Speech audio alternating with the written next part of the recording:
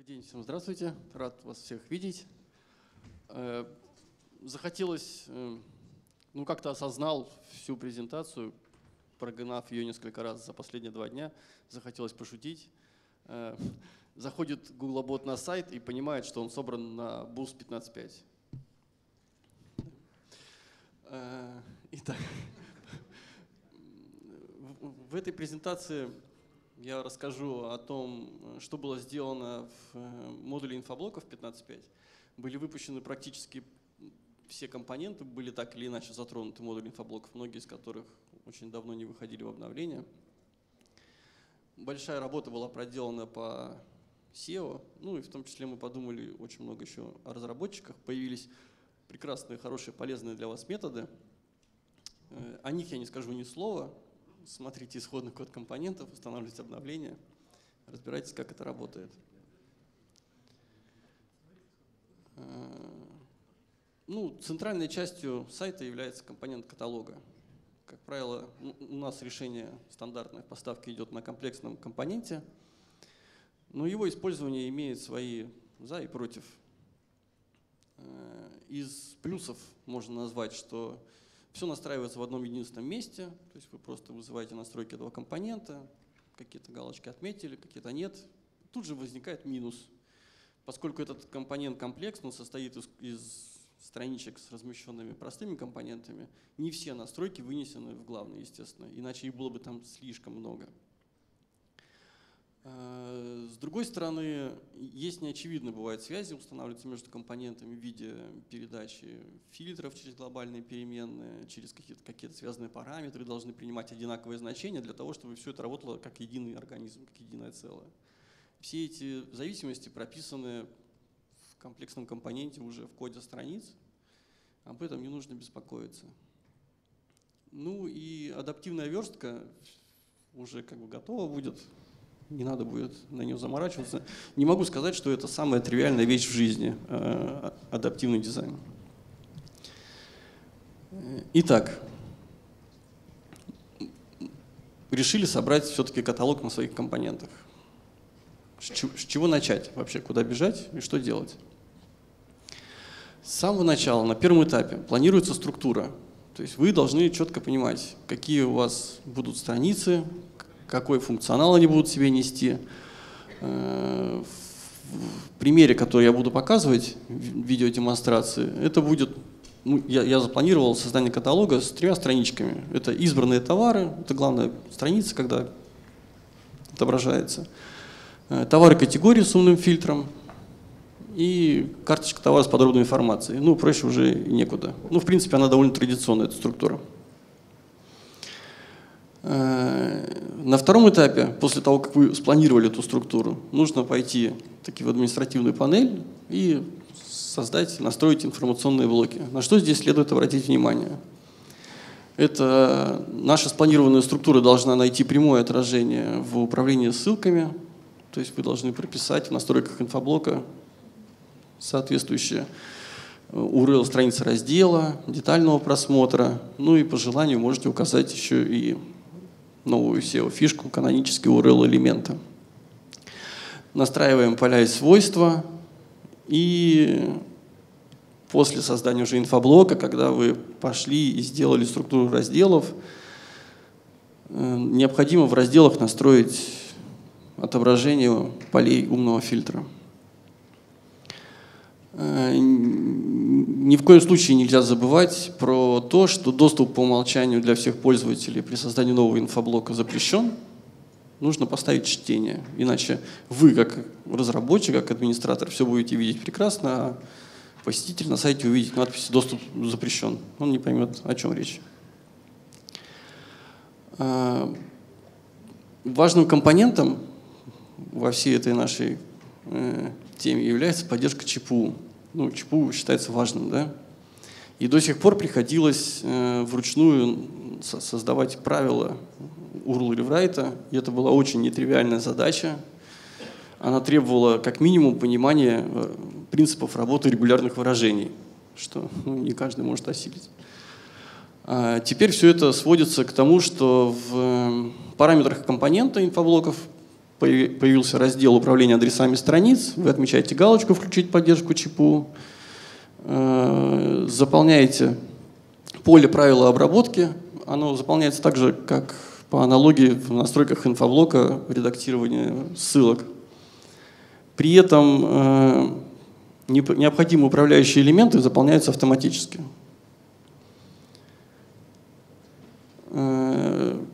После того, как вы нажали на «Сохранить», параметр компонента, автоматически, опять же, вам ничего не нужно будет делать, создаются правила обработки адресов. Вот здесь вот в условии это страшное регулярное выражение, да, это скомпилировала система, правила, компонент страницы. А раньше это надо было руками, да, вот эти вот вопросики написать, да? Да, да, надо было. Кто руками. раньше писал это руками? Ну, а вы, выбора не было. ну, то есть... И хорошо, если писали через этот интерфейс, скорее всего, через блокнот.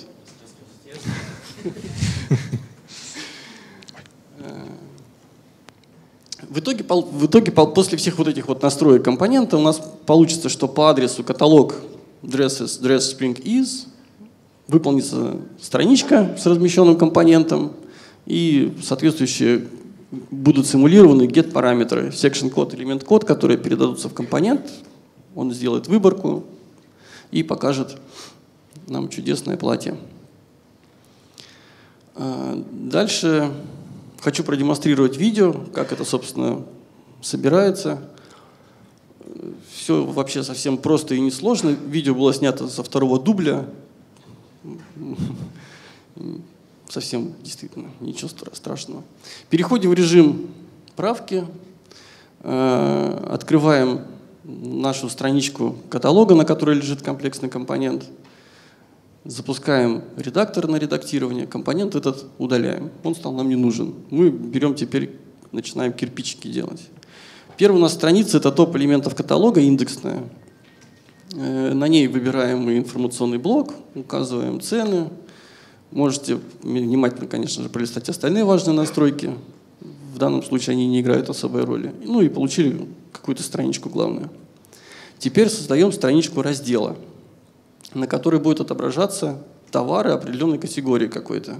Снимаем галочку «Добавить пункт меню» обязательно, потому что это как бы будет, получается, скрытая страница, да, она будет невидимая. Размещаем компонент элемента раздела. Здесь делаем все то же самое, что касается информационного блока цен. И делаем вот новую настройку. Включаем поддержку ЧПУ, печатаем каталог, выбираем код раздела, заполнилось автоматически поле соответствующее управляющее, сохраняем. Сейчас, э, в общем, там не будет никаких данных, ну, потому что там ЧПУ нет. Но если мы перейдем в соответствующий через меню пункт, то у нас нарисуется платье. Все работает. Здесь я дальше демонстрирую, что, собственно, правило было создано. Вы, конечно, когда будете собирать каталог на компонентах, можете в эти правила даже не ходить, забыть вообще, что такой пункт меню есть. Э, и делаем третью страничку, на которой будет размещена информация об элементе каталога конкретном. Все повторяется. Мы размещаем простенький компонент, элемент детально, выбираем инфоблок, цены, настраиваем правила управления адресами и собственно, все будет работать. Здесь свойства предложений я выделяю ну, для того, чтобы все это как-то более симпатично выглядело в публичной части у нас в этом примере. Можно было, было чуть побыстрее здесь ускорить видео. Э, код раздела, код элемента. Эти настройки соответствуют настройкам в информационном блоке. Заполнились соответствующие поля. Тут необходимо снять эту галочку, да, выводить название элемента, иначе она у нас продублируется. Ну, пишет элемент не найден. Ну, потому что у нас в URL было просто элемент PHP написано, никаких параметров. Естественно, компонент не знает, что отобразить. Вот рисует нам элемент детально. И правильно настроено правило ЧПУ, да. А, теперь у нас в планах было разместить умный фильтр на странице с раздела. Мы его пока не сделали. Мы сейчас вернемся на страницу раздела, перейдем в режим редактирования. Дальше я здесь делаю, э, показываю элементы табличной верстки, чего вы не должны делать ни в коем случае, естественно. Ну, это просто для упрощения демонстрации. То есть я делаю табличку с пустыми бордюрами, задаю ячейки стиль и размещаю справа элементы раздела, слева умный фильтр.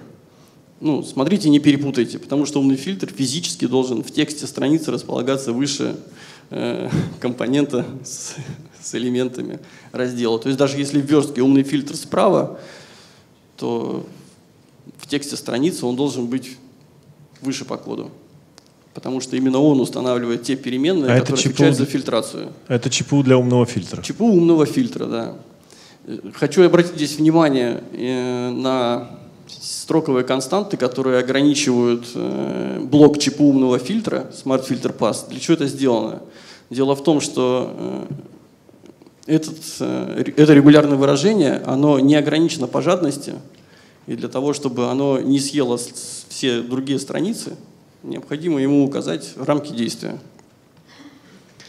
Ну и можно посмотреть, что у нас ЧПУ работает, умный фильтр работает, и создалось правило.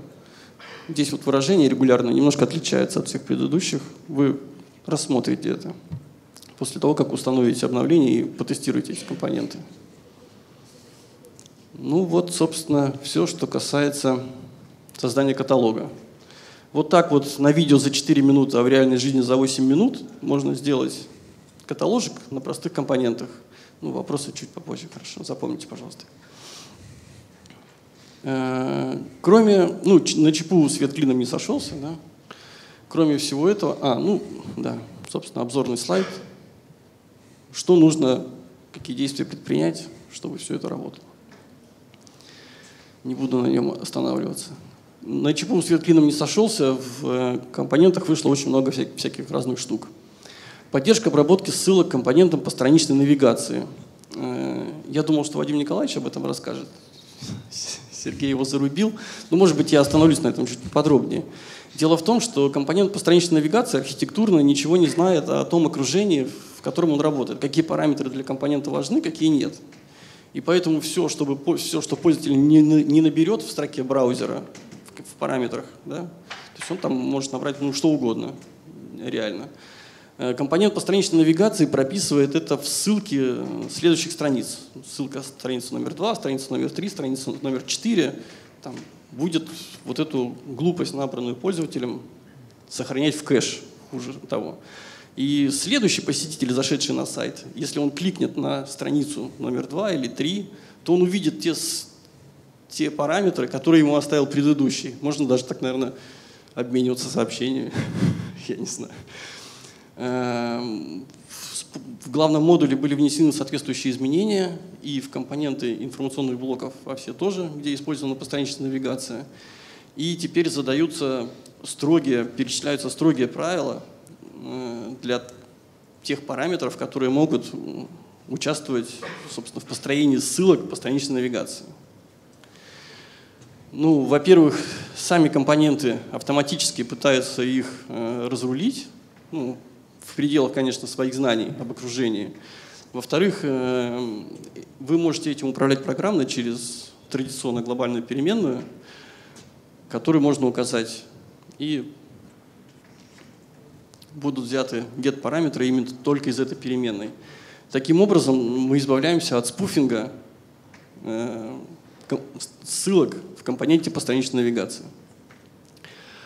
Ну, в инфоблогах добавилось э, понятие основного раздела элемента и поддержка канонических ссылок. Вы все знаете, что привязка в инфоблогах к разделам множественная. То есть можно элемент привязать нескольким разделам, используя клавишу Ctrl на клавиатуре и левую клавишу мышки. А, и до сих пор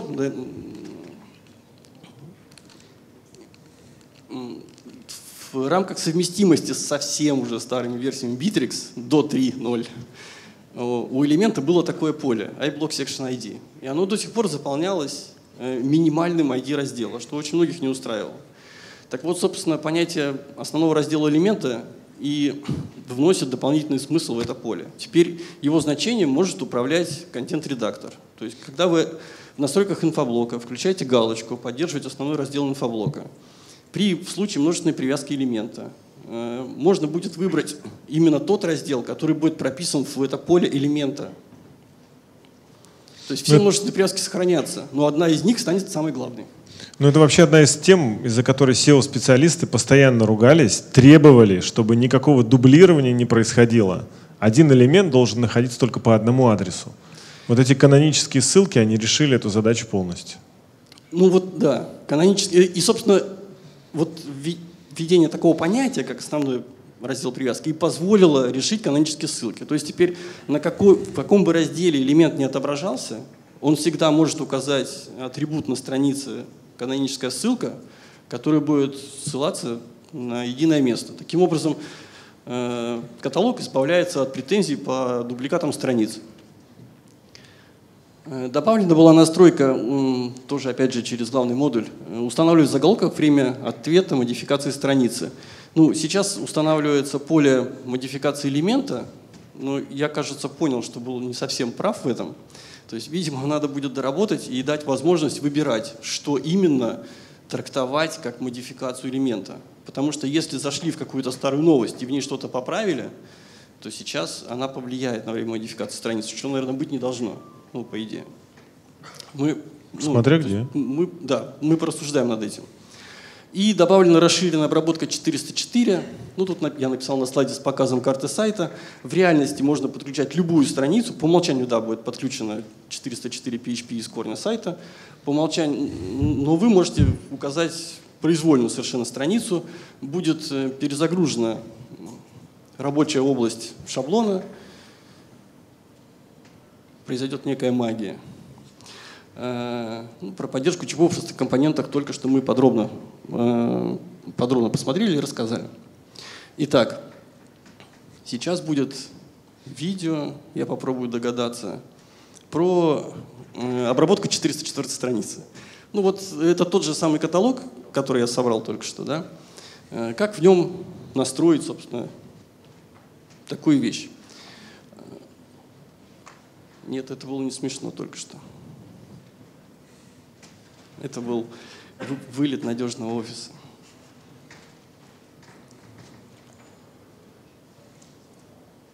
Бета-версия офиса для Мака. Вы же Да, это нужный понимаете, слайд, да, Олег? Мы будем надеяться, да. Опс. Нам дальше, наверное, да, чуть-чуть? М, да. Нет, ты перелистнул предыдущий. А мы сами включим.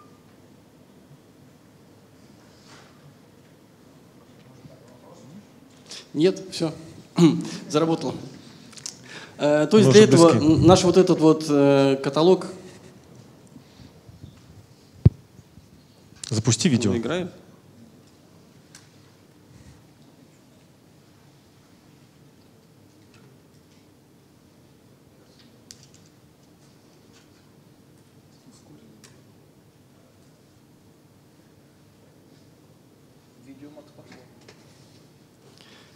Видео пошло, говорят. Э, Я ничего. Это другое видео. Нет, Максим, все нормально. Смотри, ты что в терминал перешел. Все окей. Это другое видео. А, не Окей. то? Да, все, запустили то. Э, Для этого мы в нашем каталоге сейчас создадим еще одну страничку. Назовем ее с говорящим именем 404 PHP, ну, хотя это и не принципиально.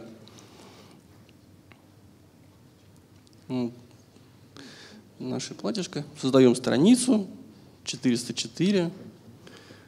Открываем редактор. На этой страничке мы размещаем текст, компоненты, ну вот что вы хотите там. Можете разместить карту сайта, э, можно написать какое-то красивое объявление, разместить бонусный код скидки. Я не знаю, что вы сделаете. Компонент по персонализации поставить. Да, Сергей очень просил продемонстрировать. Я не решился это делать, потому что не имею большого опыта в размещении такого рода компонентов на странице. Да ладно, ты просто сказал, что у меня закрытый сайт, никакой персонализации здесь не будет. Ну да, А скорее, может, ты побоялся, что он правду порекомендует тебе? Что-то обо мне расскажет. Да, что, что ты не знаешь. Логично. Ну вот у нас появилась страничка, на которой какой-то текст. Сожалеем, что такого товара нет.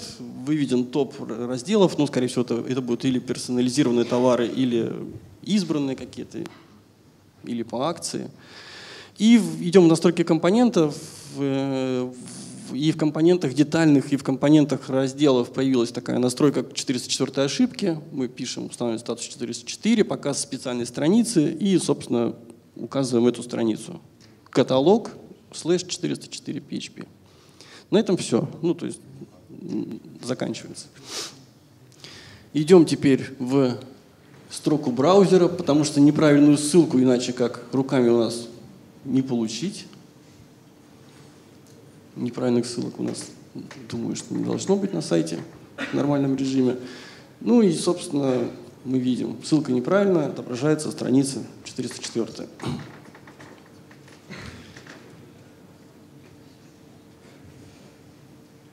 Так. Э, Следующая видеодемонстрация – это про заголовок Last Modified. Покажу, как это тоже настраивается, как это работает. Повторюсь, что мне, конечно, очень жаль, что не получилось презентации кода добавить, хотя, наверное, все-таки можно было бы. Итак, открываем раздел. Да, открываем раздел, э, смотрим заголовки сервера. Здесь никакого last modified нет. Ну, Всякие разные есть заголовки, кроме нужного для поисковых роботов. Э, Идем в настройки компонента. Соответствующий ищем раздел, э, ищем параметр. Я очень оценил, очень удобный поиск. И вообще, вот этот диалог параметр компонентов, я думаю, что многие оценили, да, какой он стал удобный и симпатичный. Запрашиваем сервер. Я здесь специально красненьким подсветил в терминале. Появился заголовок Last Modified 22 июня в 7 часов 28 минут. И если мы сейчас изменим любой из товаров, которые отображаются конкретно на этой странице, что-нибудь там мы на нем не обязательно сделаем, нажмем «Сохранить», то время модификации страницы изменится. Проверяем. Last Modified стало 24 июня 2015 года. Ну, насколько я понимаю, это очень важно для поисковых роботов в первую очередь, потому что это позволяет им каким-то образом, какими-то алгоритмами оптимизировать э, индексацию сайта. Бо- Больше объем заиндексировать. Да, они по- полюбят сайт больше. Ну вот, собственно, и все. Об инфоблоках, компонентах 15.5. Пожалуйста, вопросы. Представляйтесь. Добрый день, э, Артур Нойман, компания 7 Pro. А, Хотел бы узнать, вы сказали, вы сделали много для SEO, но слэш каталог, слэш раздел, слэш название элемента, вот слэш каталог очень часто просят убрать. Плюс э, еще там добавляется посередине слэш фильтр. Когда страницы с фильтром пытаются продвигать, там, например, еще добавляя бренд или еще что-то, тоже слэш фильтр будет добавлять лишнюю вложенность. И вот это а, прям совсем большая проблема. Спасибо. Спасибо. Ну, на эту тему можно поразмышлять, но А дело в том, что... Есть помощь зала.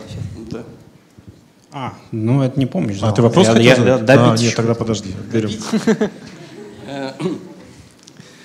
Э, Дело в том, что если вы пропишете правила ЧПУ, которое будет ну, достаточно жадными покрывать весь сайт, то не очень понятно. Ну, то есть вам придется тогда все остальные страницы в настройках правил адресов прописывать ну, полностью адреса. Потому что у вас каталог получится как бы жадный, он все накроет.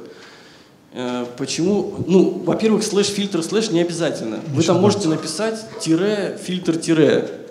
Это не принципиально. Если, если вас беспокоит Максим, они хотят. уровень вложен. Ну, то есть там можно написать любую букву, хотя бы одну, но строковую, не решетки. Не обязательно это будет слэш. Это может быть какой-то символ. Я не знаю, минус, подчеркивание, плюс. ну, что вам нравится. Ну, то есть ты имеешь в виду не просто dresses, а там Это должен быть какой-то строковый литерал, который ограничит жадность регулярного выражения. Так, ты так сложно ответил. Ну, надо переварить это. Давай надо- все-таки мы Вы поговорим, поговорим с коллегами подумаем, как мы можем сделать так, чтобы мы так- такие штуки было легко реализовывать. Не, у меня есть доступ к демоверсии на ноутбуке, мы можем перерыве подойти и попробовать там понастраивать. Да, Бе- Без давай. лишних уровней вложенности. Хорошо? Пожалуйста, вопрос.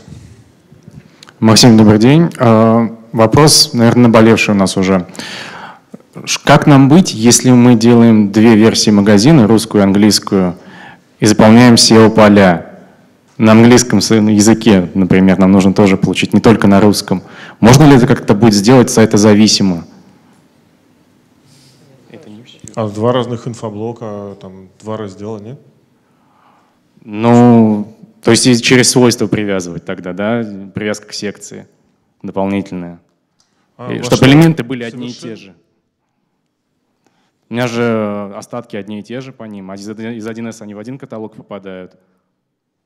Ну, Вообще, многоязычные каталоги мы много раз обсуждали. Не так не получается обычно в жизни, что один и тот же товар с одним и тем же описанием и с одними и теми же остатками торгуют. Даже упаковка для него часто разная, на разных языках. Описания разные на русском и на английском языке, соответственно. Так что у вас общее? Остаток? Остаток, цена, все Цена правила работы с корзиной. одинаковая. Одинаково, только в другой валюте. Да. Нет, она разная. Вы подгоняете цену. Она не просто там округление по курсу, она какая-то красивая. Ну, у нас много сайтов с такой задачей, Ну, серьезно. У меня есть такое предложение. Вы, скорее всего, описание в этом товаре вводите в свойства типа HTML-текст на разных языках. Правильно? Да. Э, Я советую вам посмотреть на пользовательские поля инфоблоков, пользовательские типы свойств инфоблоков, и добавить такое поле, как вычисляемые. Дело в том, что эти SEO-свойства, они вычисляются там буквально парой строчек кода. И вы сможете завести такое у себя свойство, в его настройках э, в качестве дефолтного значения прописывать SEO-выражение, а в интерфейсе вы, соответственно, будете, ну, правда, после того, как вы нажмете «Применить» и в обработчике событий перед сохранением, вы можете рассчитать в пару строчек кода э, эти SEO-значения и сохранить соответствующее там, языкозависимое свойство. Хорошо, и малюсенький наболевший вопрос. Почему мы не сразу ставим чтение как э, дефолтный доступ для всех пользователей? Давно пора, мне кажется.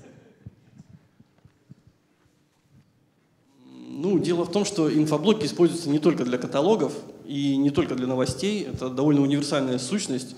Э, У нас внутри компании есть технологические сайты, на которых ин- инфоблоки используются в качестве промежуточного мостика к э, системам контроля версий. То есть все ограничено фантазией разработчика. Это, в общем, фактически сырые данные. Да.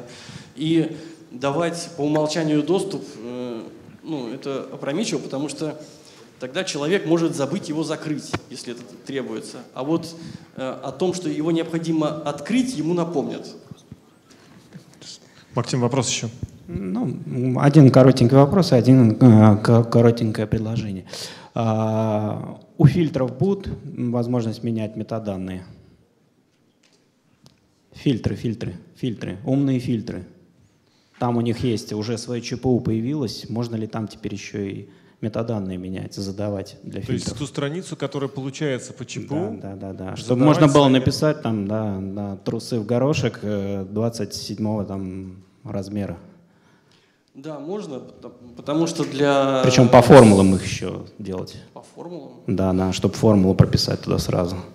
Чтобы А, вообще голова не болела. Нет, если вы будете... Дело в том, что если вы в умном фильтре выберете э, окраска горошек и выберете э, размер там XL, то в ЧПУ, в блоке ЧПУ умного фильтра так и будет написано э, прямо простым английским языком. Но это в блоке Э, ЧПУ. Я имел в виду title, description, H1. А, вот что. Да, да, да, да, да, да, да. Вот. Про Хороший это я как хор- раз буду там в соседней Да, секции да, да. рассказывать. Х- хорош- хорошая идея, очень понравилась, и, скорее всего, да, можно будет так сделать, мы это обязательно. Вот, и предложение, это класс modified. Еще бы туда запилить обработку 304 редиректа, Ну, и вообще будет прям... Я, кстати, сразу порекламирую. Он читает доклад в соседнем потоке после обеда по SEO-оптимизации. Все, что он спрашивает, это не случайно. Он же и корыстный интерес в этом соблюдает. Ну, во-первых, э, эту задачу с 304 на конкретном сайте можно решить обработчиком из двух строчек да, соответствующего события окончания выдачи страницы. Мы просто можем посмотреть, если есть заголовок if modified since, и он у нас равен текущему modified, который можно запросить у главного модуля, он же был выставлен там кем-то из инфоблоков, да, и при их совпадении отдавать 304, там, рубить контент. А как бы без двух строчек кода? Это реально, то есть это будет if и... А и- без, и- без строчек кода? Он не умеет программировать. Галочка, галочка. Галочку. И он потом напишет большую статью, что Bittrex вообще просто супер для SEO. Да? Нет, ну пока такой, пока такой галочки нету, но, Пообещай. Да. но, но ведь Скажи еще раз. Да, напишу. Но, но ведь, при, но ведь при этом э, погубится вся динамика. То есть, э, если реально на сайте появились какие-то элементы, которые не отрапортовали о своем времени модификации, ну, я не знаю, там новости в сайт-баре, баннеры какие-то, то пользователь же увидит старую версию. Ну, вы по дефолту -то выключите галочку и все. А мы ее будем включать, у кого нужно. Ну, наверное, хорошая галочка будет, да. Еще Я вопросик. думаю, что это возможно. Да, вот у меня вопросик немножко к предыдущему. Вопрос о мультиязычности касается мультиязычных свойств. Существует достаточно много, вот на сайте у нас мультиязычных объектов, там страны различные, я не знаю, там, ну, название там отелей, билетов, еще что-то. Нужно там русский, английский, французский, еще какой-то языки. Это что, мне нужно для каждого языка свойства новые создавать? Это теоретический вопрос Нет, или... да, практически, практически у нас есть достаточно большой проект, где э, существуют там, я не знаю, выставки на разных языках и еще какие-то вещи. Это не касается каталога товаров, но они идентичны, но нужна локализация. Локализация свойств. Коллеги, ну вот что значит идентичны? Вот давайте смотреть. Вот футболка, она идентична на английском и на русском, да? Да. Чтобы ее описать, нужно название поменять, Ну, инфо... Фотографию, скорее всего, поменять для локализации будет Bittrex на английском написано, Bittrex 24. Для того, чтобы там цену нужно ее адаптировать, мы же сколько раз это проходили, вы в итоге сделаете совершенно параллельно все свойства, а даже фотографии будут отличаться. Это, это, это не товар. Это идентичный объект, ну, например, название здания, название холла. То есть здание, оно есть здание, оно на всех языках одинаковое, но называется по-русски так, или улица, или как проехать. Ну, вот в нашем проекте очень много... Это Я думаю, что столько лет просят и так Да. часто, что надо садиться и делать. Мне кажется, ну, ну, слушай, мы же уже делали это. Ну вспомни форму на трех языках. Ты ее открываешь, русский, английский, немецкий, и все. И она уже становится не то, что не юзабельной. Да, вот и у нас именно такая проблема. Мы тогда, Неюзабельности, мы да? тогда знали гораздо меньше о пользовательских интерфейсах, чем сейчас. Я предлагаю вам отдельно потом пообсуждать. Спасибо. Давайте предпоследний вопрос. Или последний. Спасибо, Марк, Тринет. У меня вопрос вот по строке, которую генерирует умный фильтр. Там а, транслитированные значения. Можно ли их настраивать? Ну, во-первых, там для списочных свойств это выводится значение из XML ID, для high-load блоков там тоже свои нюансы. Э, И настраивать сейчас это нельзя, но вы можете кастомизировать компонент, и если вы посмотрите по коду, это реально меняется в одном единственном методе. Ну, все-таки от ООП есть хоть какая-то бывает польза.